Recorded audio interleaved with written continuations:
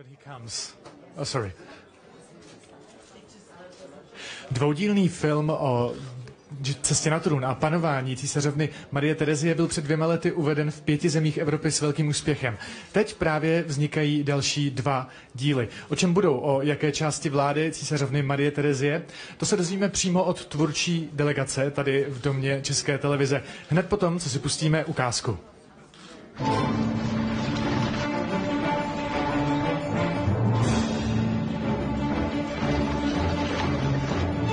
Gesagt? Že ti to sluší. Sag mi die Wahrheit. Ve válce neexistuje pravda nebo lež. Jsou jen dobří a špatní hráči. A ty teď s trenkem rozehráváš hodně nečistou hru. Für mich ist der Krieg kein Spiel. Koľko mužov má vaša infantéria? Infantérie. Infantéria. Ich darf nicht verlieren. Auch, was du willst. Wollt ihr Gott vorschreiben, was er zu tun hat? Mich so zu erniedrigen. Der Habsburger Hof ist kein französisches Bordell.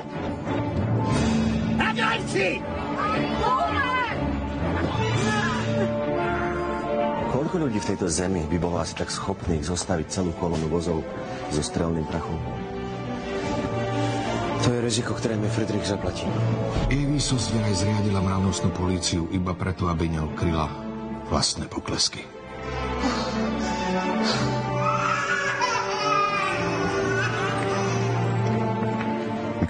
Theresia dann schwanger sein? To vy je aniž počela. Tomu byste měl rozumět, otče. Los! Spielt!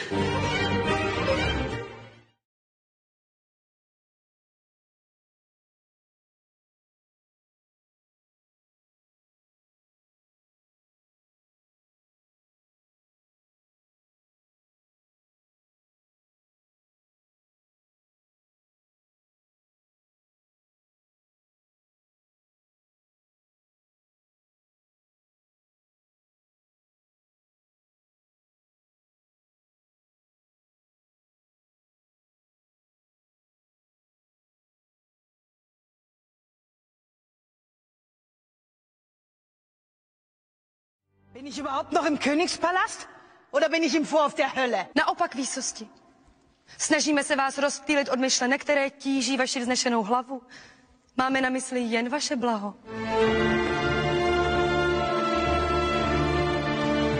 Podle našich zpráv z fronty se dopouští rabování.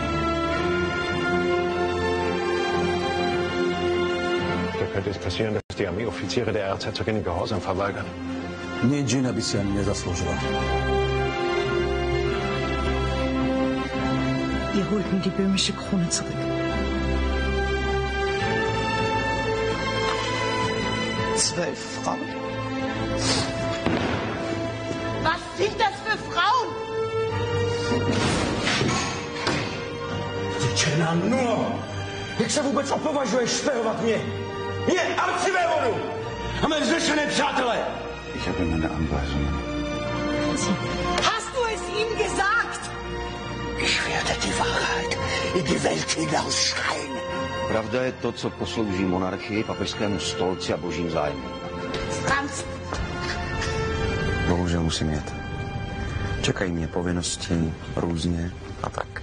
Přijdu brzo, nein, bist du nicht. ale budu se snažit.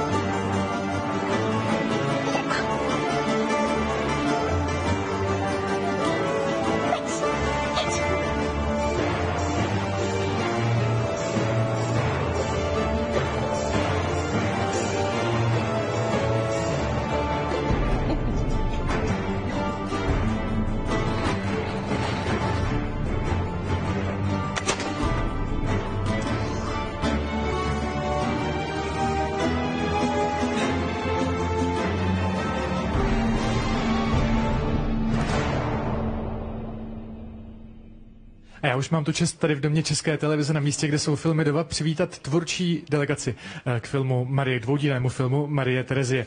Začnu od dám eh, herečky Štefanie Reinsberger, dobrý den. Zuzana Stivínová, dobrý den.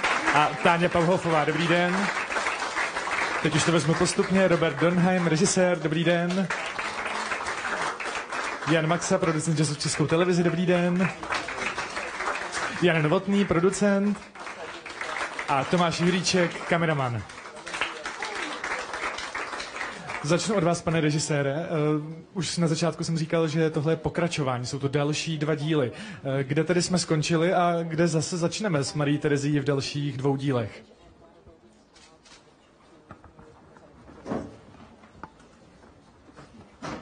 Well, good evening or good afternoon in this hot uh, Carlo Vivari afternoon. Um, it's not uh, a miniseries in the normal way. I think we took this story up, we changed gear, we got a new Maria Theresia, which we all very welcome, and um, tried to have a more political, contemporary approach. First one was kind of a love story coming into uh, her persona.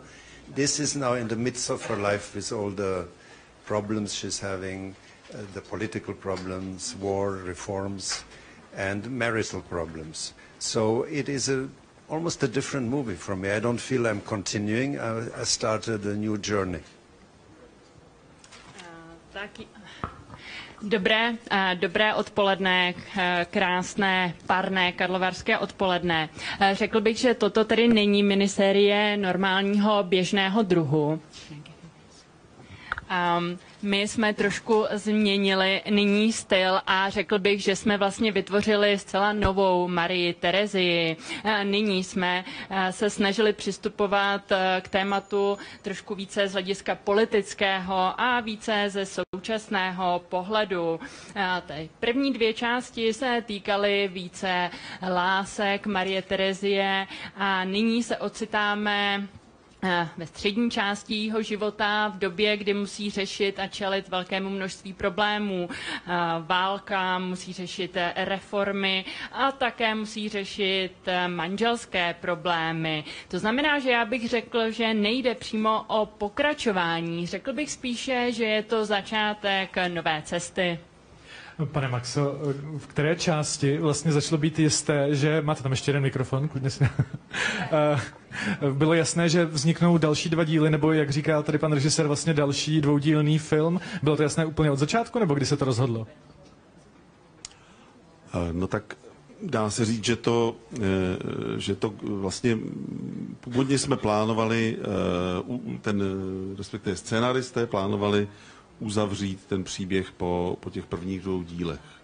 A vlastně eh, s nápadem na pokračování eh, přišli kolegové, zejména kolegové z rakouské televize, eh, protože tam slavila ta první, ten první dvojdíl fenomenální úspěch a měli jsme takovou schůzku před, Ježíš Maria, to už je rok a půl, tuším, kde jsme vlastně Scenáristé nejdříve vzdorovali, říkali, že bude velmi těžké najít jakoby stejně silný příběh v další životě, v dalším životě Marie Terezie. No a pak jsme se do toho nějak zakousli a řekli jsme si, že to zkusíme a vyšlo nám, jak říkal Robert, vlastně, že je to sice příběh jiný, ale rozhodně o nic méně zajímavý než ten v těch prvních dvou dílech. Pane Novotný, málo kdo si asi dokážeme představit, co to znamená kočírovat takhle obrovskou koprodukci, takhle obrovského historického filmu. Eh, váhal jste, jestli do toho chcete jít znovu? Pro mě to, eh, ta, ta původní dvou, ten původní dvoudíl pro mě byl víceméně uzavřený kus a myslel jsem si, že to mám za sebou. A tak se ukázalo, že ne tak docela, ale právě jsme si řekli s Robertem, že pojďme se na to zkusit podívat z jiného úhlu a neudělejme úplně to samý. Pak si člověk říká, že to nebude tak komplikovaný, protože už jednou tím procesem prošel a ví zhruba, co čeká, což byl další omyl. Není to tak, vždycky těch problémů jsou noví a chodí desítky a stovky věcí, které člověk nečeká, jsou najednou k řešení. Nicméně eh, věřím, že i v tomhle případě to dotáhneme úspěšně do konce a že se bude divákům líbit i to, co natáčíme teď. Stefany, vy jste převzala uh, roli vlastně v polovině. Uh, co to vlastně znamená uh, převzít uh, roli po nějaké jiné herečce? Uh, jak jste studovala, jak jste rešeršovala, jak jste se na tuhle roli připravovala?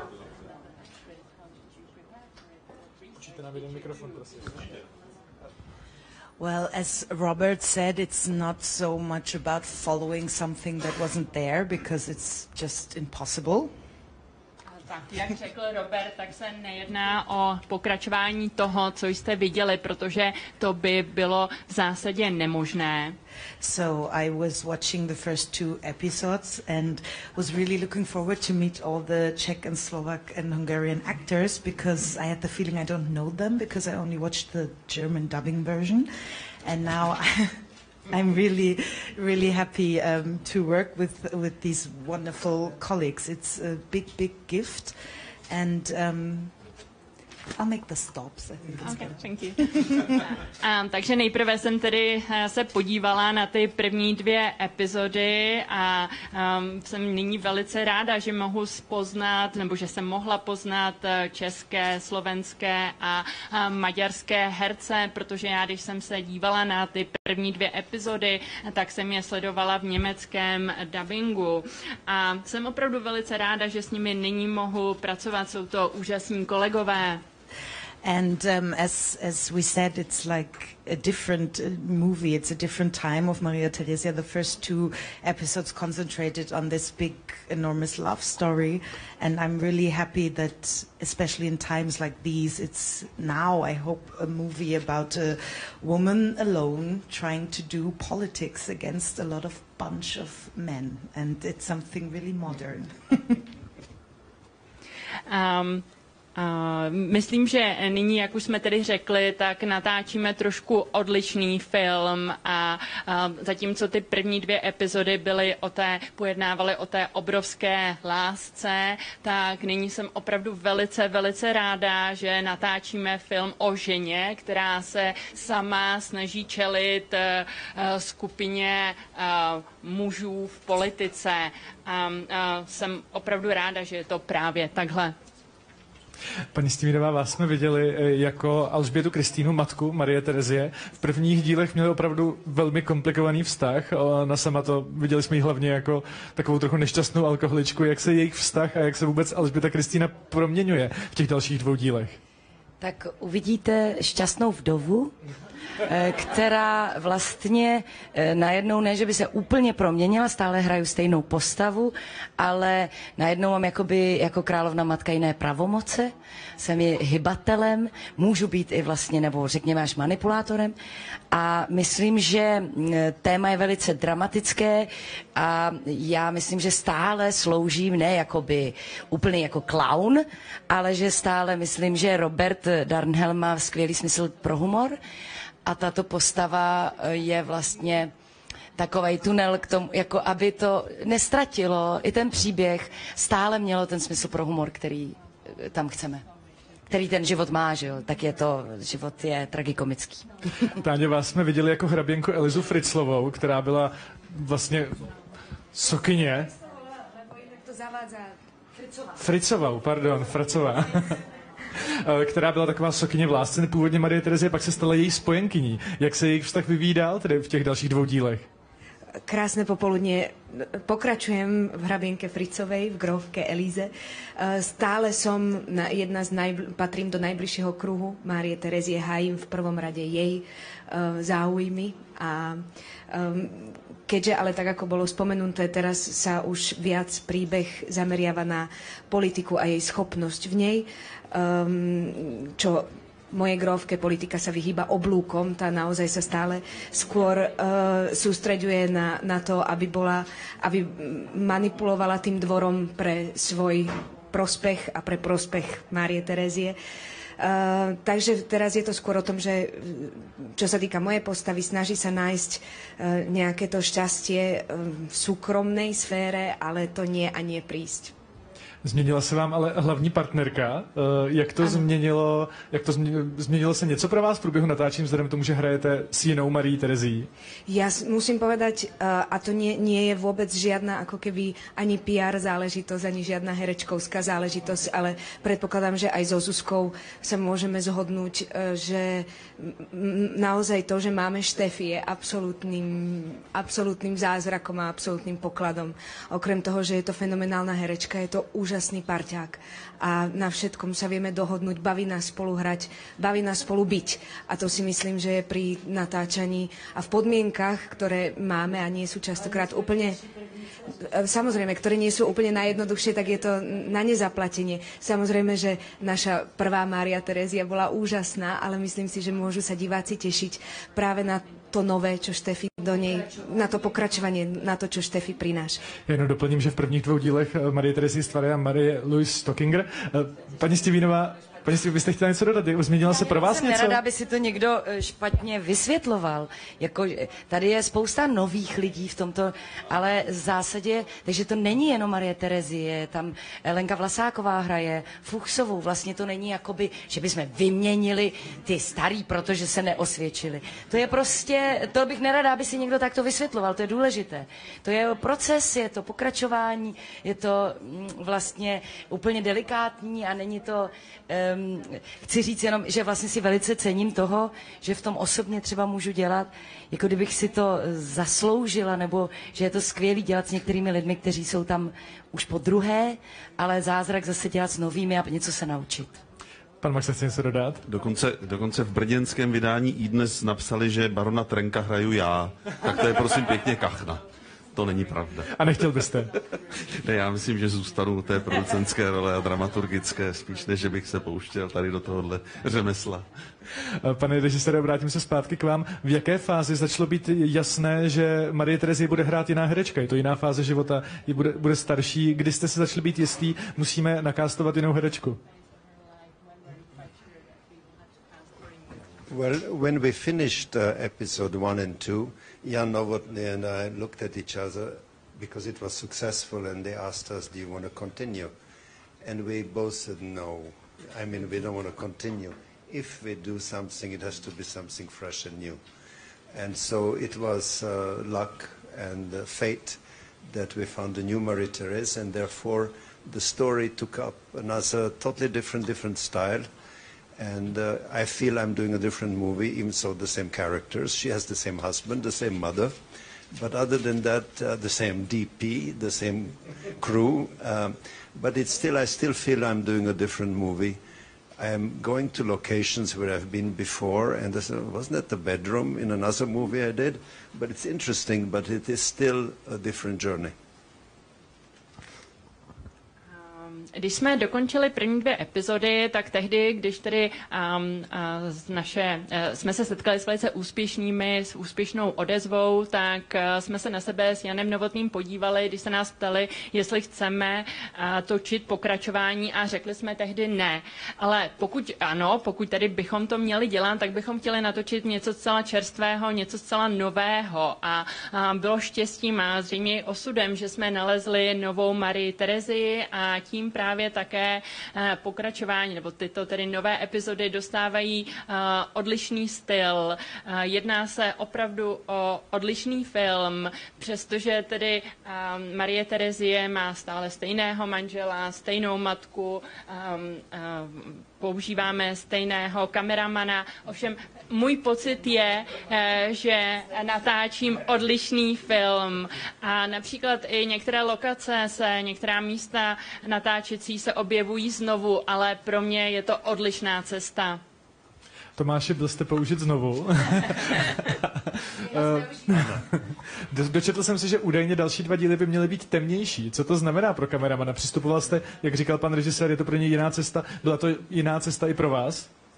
Eh, Tak každý ten projekt je iný, tak eh, ni- nikdy sa vám to nepodarí rovnako, aj keby ste chceli, ale tu sme vlastne nechceli. No. Takže temnejší, áno, aj scenár je myslím, že temnejší a dramatickejší a pre mňa... Ahoj. Vojta prišiel.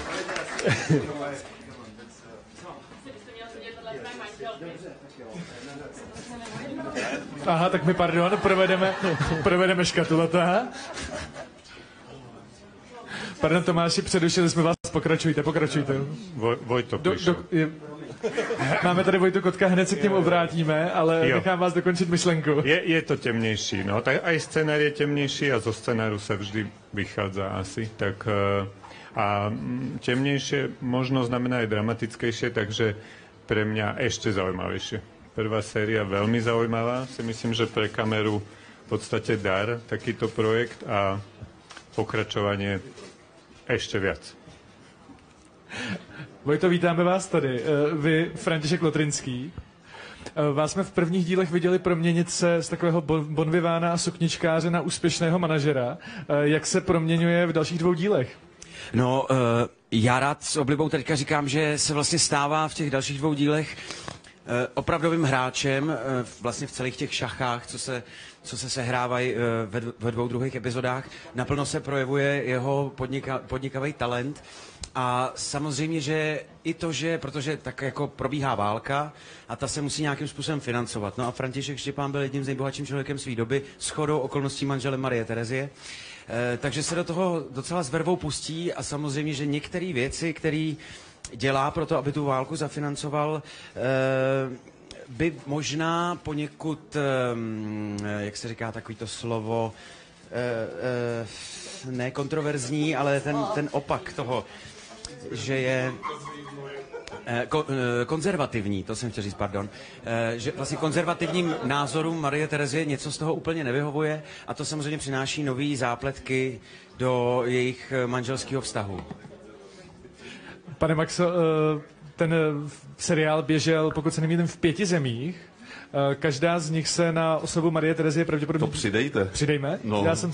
Mně bylo řečeno v pěti, řekněte v kolika. No ne, no tak premiéra byla, premiéra byla ve čtyřech zemích, eh, Česko, Slovensko, Maďarsko, Rakousko. Navíc Francie. Ale, ale pak se samozřejmě prodal do řady dalších zemí. Běžel, běžel v Itálii, ve Skandinávii, ne, nevím, v Německu, jo, prostě Německo, Francie, těch, těch zemí bylo spousta, kde už to, kde už to běželo.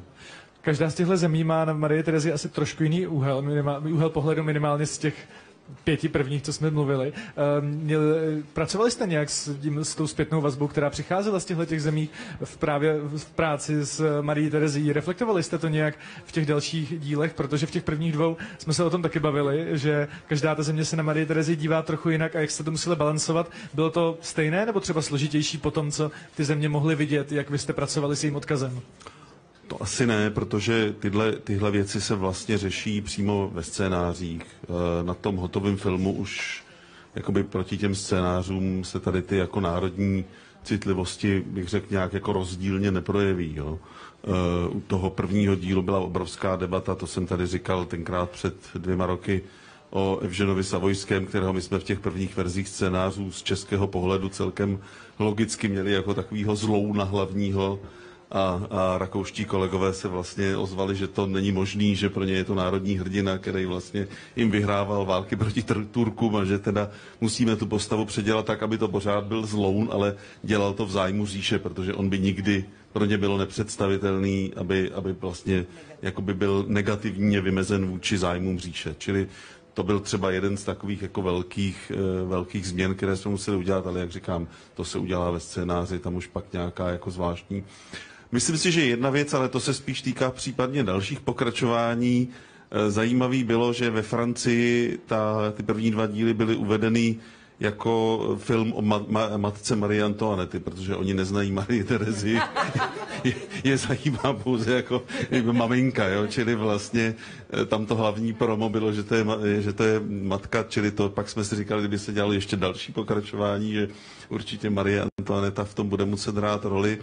A protože teď už se o dalších dílech bavíme s rakouskými kolegy, tak tam zřejmě podobný efekt, jako je u Evžena Savojského, nastane u Josefa II., protože ten má zase v Rakousku nějaký jako velmi ikonický eh, význam. Eh, Děti se o, něj, o něm učí ve škole ještě mnohem víc než u nás a vlastně pokud o něm chceme říkat nějaké odvážné věci, tak možná si to tam budeme muset trošku vyjasňovat, jak to, jak to přesně pojmeme. Ale tady v téhle, v téhle sérii myslím si, že Myslím si, že teď si nespomínám, že by byla nějaká zásadně jakoby senzitivní postava, kde bychom to museli ladit.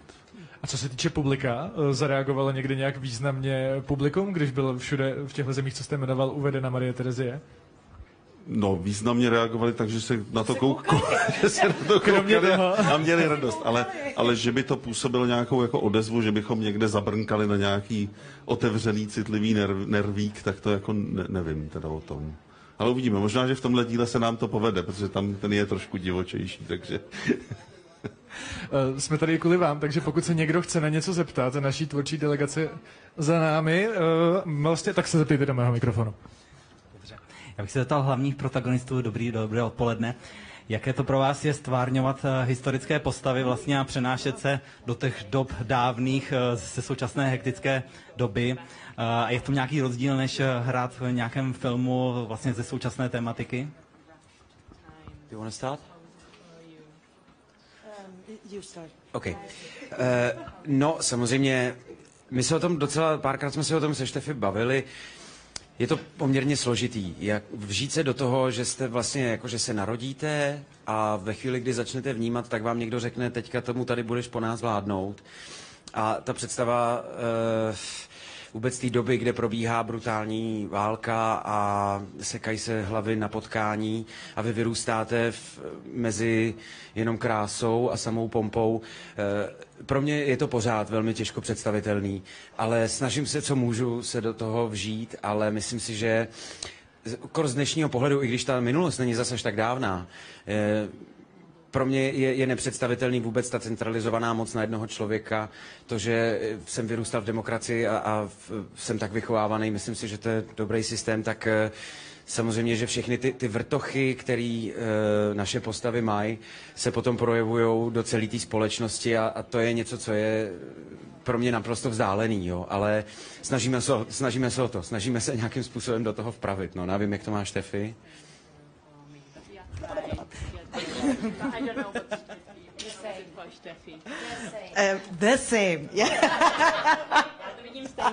no, well, I try to think every day on set that they were all just human beings like us, but as Wojta said, they were raised with such a big amount of power and pressure, and that's I, I really just cannot imagine that. So I have to dig in the emotions and in their hearts and try to, as you said, play as truthfully and as emotionally as I can.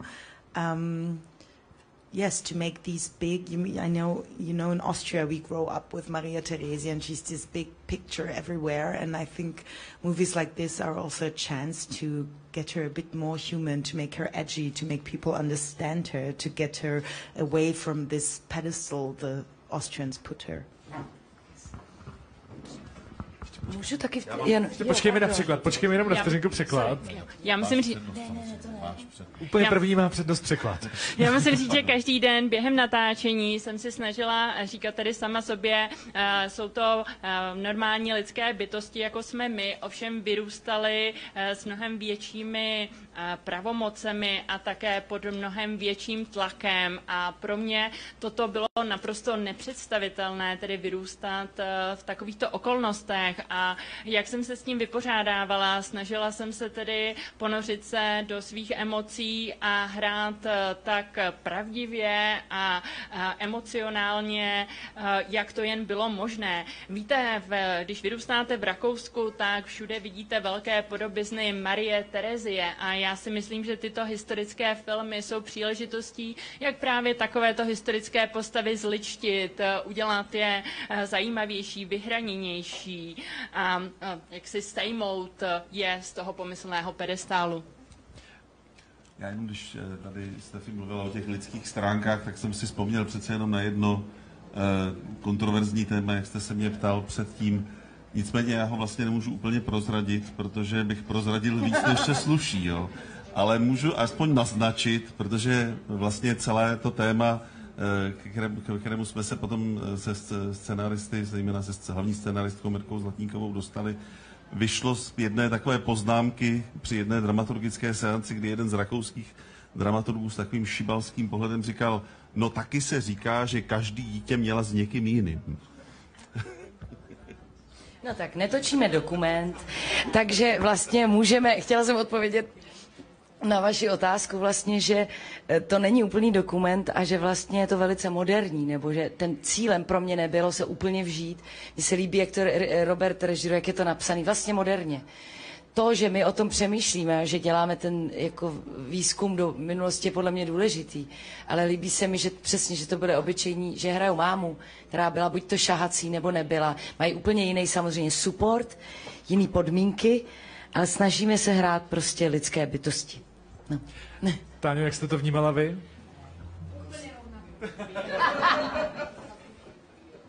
Úplne rovnako. Tam jediné, čo bolo ako keby dôležité, keďže sme na dvore, uh, u dvora, tak, uh, tak slovenčina, čeština.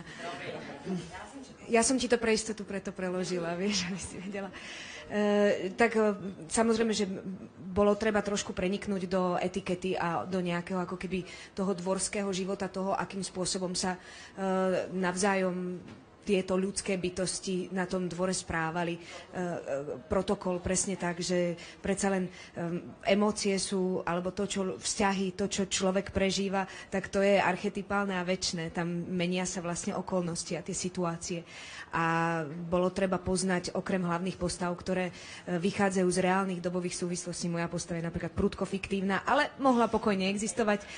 Bolo treba v prvom rade poznať presne dobové súvislosti a protokol. Má někdo nějakou další otázku? Připravil si ještě někdo něco pro nás? Máme tady, ano. Dobrý den, já bych se chtěla zeptat, jestli se tyto další dva díly hra, hra, hrajou, natáčely na tom samém místě jako ty dva předchozí. I na těch samých místech jako ty předchozí.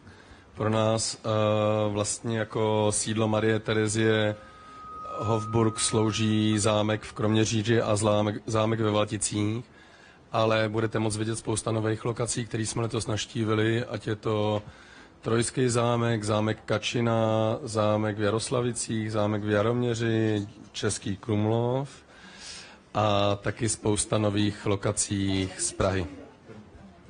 Máme nějakou další otázku? V tom případě se obrátím panu režisérovi. My jsme tady mluvili o tom, že ty uh, další dva díly jsou jiná cesta, vydáváte se jiným směrem. Uh, v těch prvních dvou dílech byla hodně, byl hodně důležitý humor. Několikrát jsme tady na to narazili. Uh, bude to taky nadále? I think in today's world we wouldn't survive without humor. It's too bleak if I look left and right politically. Uh, what reminds me in this story is authoritarian dictatorships, which we are approaching, unfortunately, in many countries. Here, where I, in our neighborhood here, from the place I'm coming from, Mr. Trump certainly is not a good example. And so, if I deal with Maria Theresa, I have to think about Mr. Trump and what it takes if we go direction authoritarian, fascist developments. Uh, if, in, if I take a journey into the past and don't recognize the presence, then I missed something. so um, the only way I can swallow it is with humor and finding certain things that we can smile about. Já myslím, že v dnešním světě bychom vůbec bez smyslu pro humor nepřežili. Ta představa, to, co vidíme okolo, by byla příliš nesnesitelná. Vidíme v sousedství, tedy v blízkosti naší různé autoritářské diktatury a odtud ze země, odkud já přicházím, tak tam skutečně pan Trump není dobrým příkladem a když natáčím film o Marii Terezi, tak si právě říkám, co by se stalo, pokud se tedy Trump vydá dále tímto autoritativním, diktátorským, fašistickým směrem. A pokud se vydávám do minulosti, aniž bych, abych aniž bych potvrdil nebo aniž bych jakkoliv zapojil současnost, tak něco ztrácím, něco mi chybí. Ehm, takže myslím, že abychom mohli to, co se v současném světě děje, jakkoliv strávit, je potřeba, abychom se mohli zasmát. Stefany, vy jste říkala, že jste vyrůstala mezi těmi portréty, eh, které všude v Rakousku jsou, Marie Terezie. Změnil se nějak eh, váš pohled na ní eh, po tom, co jste se zúčastnila tohohle toho projektu? Co jste si mohla zahrát? Ještě vlastně pořád, co jí hrajete? Yes. ano. Ano. Well, it's a thing, I think it happens in every country, but it's in Austria really special that we have this historical or even modern figures and we want to see only the good. But especially if you play characters like these, I enjoy more playing characters and roles who are difficult and to make the audience even love them, even though they have a lot of flaws and a lot of things that are not okay. Um, and we also have to say we're not doing a real documentary. We're doing entertainment, and we have also stories who might be not that historical, right? But um, it's interesting to get in the hello um, in um, yes in in the topic and to learn. Yeah, as we said before, they were all humans, and they they made mistakes, and um, yes, hopefully we, we forgive and we learn of them. Steffi, actually we have a very opposite problem here with uh, people like different, very opposite. You Můžeme nechat přeložit Stefí, aby, aby odpověděl, ale můžeme, já budu rád, když si budete povídat mezi sebou, to je pro moderátora to nejlepší, co se může stát, ale jenom ji necháme prosím přeložit. Um, myslím, že se to děje ve všech zemích, ale možná, že Rakousko je vůbec speciálním případem, že eh, veškeré historické, ale i moderní postavy eh, se vždy vidí pouze v tom dobrém světle. A já sama ráda hraji postavy, které jsou poněkud eh, obtížné, to znamená, že mají své chyby, mají své nedostatky a navzdory těmto, těmto nedostatkům se snažím, aby potom publiko, publikum si je zamilovalo. A jak už se tady několikrát řeklo, my jsme nenatáčeli dokumentární film, eh, natáčíme zábavný film, ale i tak eh, bylo pro mě velice zajímavé ponořit se hlouběji do tohoto tématu, poznat blíže ten historický kontext. Každopádně ale platí, eh, že jsou to všechno jen lidské bytosti, které jako ostatní dělají chyby a doufejme, že jim můžeme odpustit a také se od nich eh, něco naučit. Táňo, máte vlastně, já vás poprosím možná česky, jasne, bude to jednodušší, ja protože tady přeložíme. Ja povedať, že u nás ja skôr pozorujem ten opačný problém, že uh, my nemáme naopak žiaden problém nachádzať to najhoršie v tých hrdinoch a vyťahovať to na povrch uh, a vlastne nejakým spôsobom konštantná potreba nás všetky, všetky tie vzory alebo tých hrdinov práve naopak ťahať, ťahať na, tú, na tú zem alebo ich, ich nejakým spôsobom deglorifikovať. Takže to je, to je, len mi to napadlo ako veľmi opačný, opačný problém, že pre mňa zasa je to, čo Štefi vníma, akože, že uh, Máriu Tereziu polučťuje, tak pre nás napríklad ju uh, robí krajšou. Pane Maxo, jak eh, vznikal scénář? Eh, vy jste na začátku jsme mluvili o tom, že eh, to byl, že jste vlastně museli poměrně dlouho hledat, o čem vlastně ty další dva filmy budou a jak tedy ten scénář vznikal? No, scénář vznikal, vlastně ta hlavní odlišnost proti prvním dvěma dílům byla v tom, že na ty první dva díly byla Mirka Zlatníková připravena letitým samostudiem, eh, protože ona vlastně Marie Terezi považuje za jednu takových svých osobních hrdinek a vlastně opravdu byla, měla toho hodně načtenýho a ten příběh těch prvních dvou dílů, které tedy míst, původně byly vlastně pěti hodinovým, hodinovou, pětihodinovou minisérií a pak se teda poměnili v ty dva stominutové díly, tak ten jí ležel dlouho v hlavě. Tady to, jak jsem říkal, vlastně vzniklo na jasnou poptávku vysílatelů a tak trošku jako proti odporu Mirčinu. ale pak samozřejmě, když jsme ten úkol přijali, nebo když ona ho přijala, tak uh, musela rychle dohnat to, to, to, co předtím studovala leta. Uh, ale naštěstí jsme měli vynikajícího poradce, pana doktora Sisáka, který vlastně jí pomohl, pomáhal už v té, té první řadě a teď jí pomohl znova najít vlastně v těch dějiných událostech věci, z kterých se dají vygenerovat příběhy, jak říkala Štefy, ať už zcela pravdivé nebo mírně jaksi přikrášlené, anebo vlastně zcela mimo historickou realitu, ale samozřejmě jaksi v té psychologické realitě těch, těch postav, tak jak je máme, máme vykreslený. Ale vlastně musíte začít od toho, že tu historii znáte, protože tam jsou prostě drobnosti, z kterých ty příběhy se rodí. Jo. Třeba, eh, třeba eh, o Františkovi Štěpánovi je v takovém tom všeobecném historickém povědomí i v běžně dostupných publikacích se toho ví strašně málo. Je to vlastně na to, jak to byl významný člověk, je, je nejenom průkopník, jenom, nejenom podnikatelství, ale i, ale i vlastně jakoby po propojení biznisu s politikou, což bylo do té doby vlastně neslíchaný. Biznis byl špinavá věc, to dělali to dělali, to bylo vlastně rezerva židovského obyvatelstva a, a, pol, a politika byla někde jinde.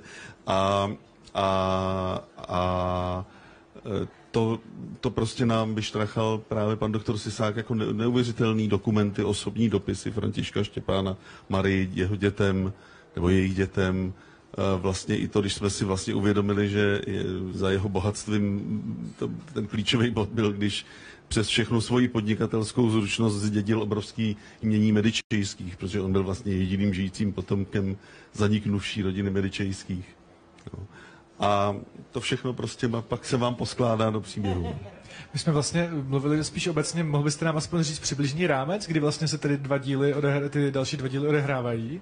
E, jasně, no v podstatě začínáme, začínáme dějově téměř tam, kde jsme skončili, to znamená relativně, relativně čerstvě po, eh, po eh, korunovaci Marie Terezie eh, Uherskou královnou, kdy vlastně zu, zuří, zuří, ten už umřel na začátku druhého dílu Broučku. No jasně. no to ve tvé mysli samozřejmě žil. Války o, o, o rakouské dědictví, o, o habsburské dědictví zuří, Eh, hlavními aktéry v tu chvíli nejsou Prusové, kteří přistoupili na jakési příměří, ale jsou to Francouzi a Bavorové. A, mm, a končíme zhruba o, o dva roky později, zhruba v době, kdy je Marie korunována eh, Českou královnou. Vojto, s Františkem Štěpánem jste prožil opravdu vlastně už dlouhou dobu. Eh, jak se proměnil váš pohled na, na tu dobu, o které valná většina z nás má gymnaziální znalosti? Eh, co nejzásadnějšího jste z toho odnesl?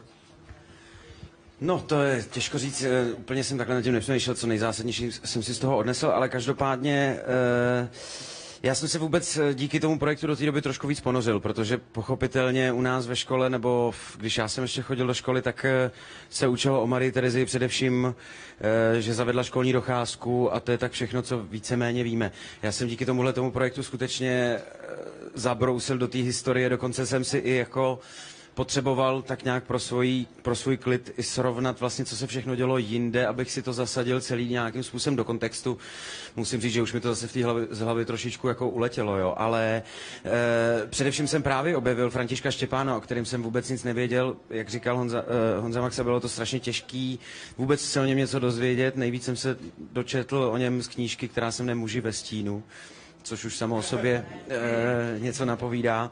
Ale musím říct, že jsem jemu jako charakteru naprosto propadl, protože i přesto všechno, čím eh, vlastně byl zatížený, to, že ze začátku ho na tom dvoře naprosto nepřijímali, byl všem tak trochu prosmích a, a vlastně nebyl moc uh, respektovaný ani tou Marií, myslím tím jako jeho politická ambice jakákoliv tak, tak přesto všechno, v jaký době žil a co, co všechno měl za, na, na bedrech, tak to byl člověk, který si dokázal neuvěřitelně užívat život a který chtěl uh, i přes ten všechen protokol žít a žít jako opravdově. A myslím si, že to je možná i v jeho době poměrně ojedinělá vlastnost a uh, já jsem teda především propadnul jemu, musím říct. No. Já musím říct, že já propadla tvojí mamince, eh, což je to prostě moje souputnice, eh, Mademoiselle de Charter, a to myslím, že je velice důležitá postava v, těchto, v tomto pokračování. Hraje jí Zuzana Maurery a e, myslím, že e, taky něco o tobě vypovídá. Je to e, zajímavý vztah jich dvou a krásně, jako Zuzana, jak představuje tu postavu, je taky myslím, že na co se může divák těšit. Máme ještě nějakou otázku z publika? Je to jedna z posledních možností. Máme za sebou. Dobrý den. Já bych měla uh, dotaz na herce. Chtěla bych se zeptat na ty historické kostýmy. Jak moc... Uh, ano, přesně tak. Jestli, jestli ještě teď točíte, tak jak moc je to náročné? Co, uh, co na tom máte rádi? Co na tom naopak, jestli něco, tak co na tom nesnášíte? A jak, jak hodně předem musíte být na place vlastně. Děkuju. Je těžké v tom horku najít, co na tom máme rádi. Je to hodně těžké. Musím říct, že, že e, samozřejmě ty paruky jsou teda jako, to je jak kdybyste měli kulicha. A někdy já mám takovou paruku ještě, on se tomu říká laple, jo. Jsou to takový uši, takový no, no, no, jako měl pes Pluto nebo kokr španěl. Takže vám vlastně nejde ani vzduch na krk a je to teda šílený. Děvčata mají lehkou výhodu tím, že mají, ty, že mají teda aspoň ty vějíře. A ty korzety? Ale Štefy asi nesouhlasí kvůli korzetům. Absolutně nesouhlasím. Tak já už Máme radši předám korzety na slovo. rozdíl od tebe. luckier. You know how hard every way to the toilet is. You need like two Si people. neumíš představit, co to je zvedat? Ty spodnice. No, že máme větší štěstí, to nevím. Dokážete si představit, jak obtížné je dojít si kdykoliv tady na toaletu. Potřebujete eh, k tomu nejméně dva lidi pomalu. Já, já teda děkuji, že jste tu otázku položila, protože kdybyste ji nepoložila, tak ji položím sám, protože já jsem minulý týden, kdy bylo v podstatě stejný počasí jako dneska, byl v Brně, kde se natáčelo v Mahenově divadle, nicméně natáčely se tam vlastně noční scény, ale ve dne. Takže to divadlo, který asi nevyniká nějak zvlášť dokonalým větráním ani normálně, tak bylo celý zatemněný, zatažený černýma záclonama, takže tam ten vzduch byl úplně neuvěřitelný. Tam stálo tak to, bylo jako v papiňáku něco asi tak. A teď tam celý den se pohybovali tady ti lidi a samozřejmě i kompars, obrovsk, obrovský kompars, prostě v těch kostýmech, parukách. Vojta měl klobouk, který byl asi takhle veliký, chlupatý a prostě ne, neuvěřitelný. A co jsem vůbec nechápal, že ze všech jako nelil pot. Já jsem, já kdybych v tom byl oblečený, tak během, no, no to jo, ale já bych, já bych byl celý mokrý, já bych byl prostě, jo, a vy jste vlastně vypadali všichni úplně příčetně, vlastně jste vypadali krásně, takže to vůbec tomu nerozumím, jak to děláte. Ale ještě, no, jo, sorry. Se, ne, say it, say it. No, that's because we really have amazing people behind the set, and nobody of you will ever us. see them because um, they do the real sports program. You know, putting on a dress like that takes like 20, 25 minutes, and it's a workout for them. And they take care of all of us like the whole day, and that's really, really amazing. And thank you for that.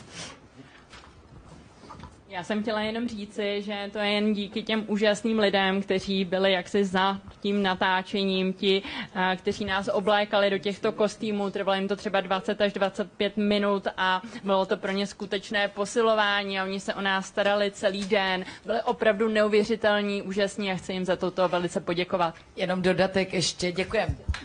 Eh, eh, ještě, já tedy osobně nevím, jak kolegové, ale musím říct, že to má svá úskalí, to teplo, ale radši točím takhle v teple, než ve v minus 20, nebo v zimě, musím říct, když jakoby řešíme kostýmy a v zimě se totiž už vůbec nedá mluvit. Tady aspoň můžu říct ten dialog.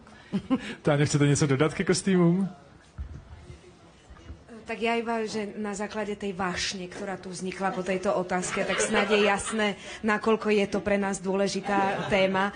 Uh, treba povedať, že Janko Kocman urobil fenomenálne kostýmy. Sú úžasné a krásne. Je pravda, že chvíľami je to trošku uh, boj o život, taká dobrodružná výprava, naozaj prežiť to celý deň je náročné, ale nezažívame to bežne každý deň, takže je to pre nás zážitok v podstate. Ale je to náročné, nie že nie. Pane V Novotný, zime já- je v tom zima, v teple je v tom strašne teplo. Pane Novotný, já si pamatuju, že u prvních dvou dílů jste někde říkal, že jste měli na place všechny paruky v Evropě. Eh, Jak to vypadalo při natáčení těch dalších dvou?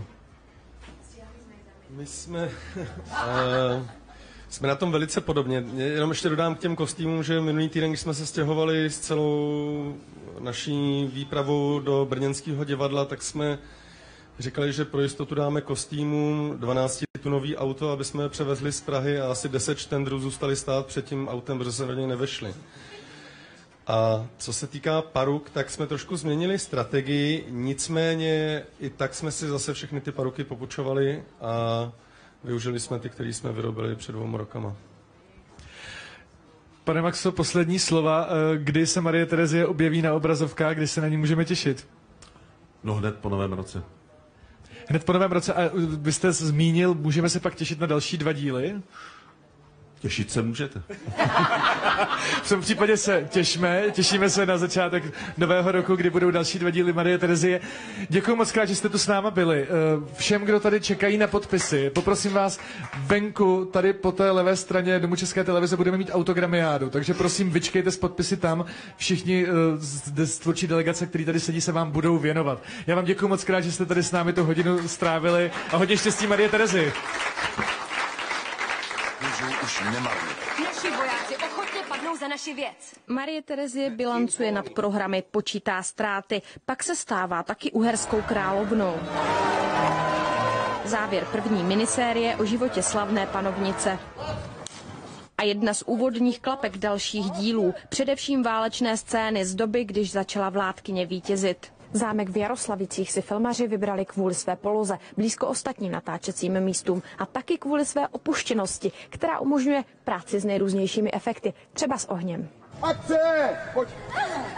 Teraz vlastne robíme útok pandúrov na civilné obyvateľstvo, kde vlastne začína druhý diel ako titulková sekvence, kde vlastne síce sa otáča vojna v prospech Marie Terezia, ale za cenu veľmi drsného zaobchádzania s civilným obyvateľstvom. Scéna pokračuje nedaleko, u mlína ve Slupy. Hned dnes si v obou lokacích zahrál i představitel Josefa Kinského, poradce Marie Terezie. Je tu veľmi veľa povraždených ľudí, znásilnené ženy a deti, takže je to vlastne veľmi dramatická a smutná scéna. Mr. Kinsky Baron, or royalty, uh, that wants to prove to Maria Theresia that uh, Van Trenck is a terrible man that fights a war immorally, killing innocent people. Co dalšího diváci v nové sérii uvidí, zatím filmaři prozradit nechtějí.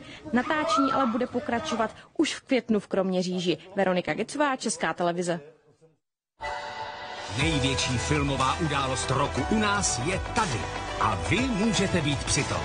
Zveme vás do domu České televize na divadelním náměstí, kde na vás čeká každý den pestrý program. Těšte se na setkání s herci a tvůrci koprodukčních filmů a pořadů České televize. Čekají vás podvečerní koncerty hvězd. Každý den promítáme večerníčky a je připravena i taneční škola pro děti. Pokud jste tu ještě nebyli, nejvyšší čas. Aktuální program najdete na našem webu. Těšíme se na vás v domě České televize. Na místě, kde jsou filmy jako doma.